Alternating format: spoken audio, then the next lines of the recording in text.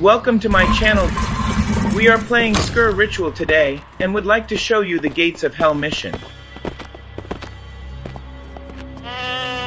In this mission you have to align the symbol for the four cylinders placed on the map, in relation to the symbol on the cage holding the goat. I completed this on round 14, and was able to do so once the horde of monsters slowed to a few.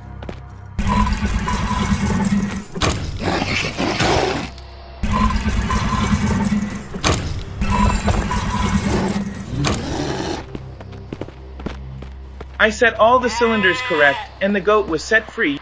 You must walk with the goat to lead it to its destination.